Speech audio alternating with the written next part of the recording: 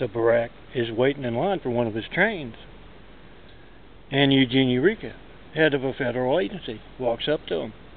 Says, Do you want us to still keep censoring the phones, the mail, and the internet? And Barack says, Of course. Guys, do a word tracer at Flight 93 check right now. Call that number unless you're the first to reach me. Oh, great bus starter.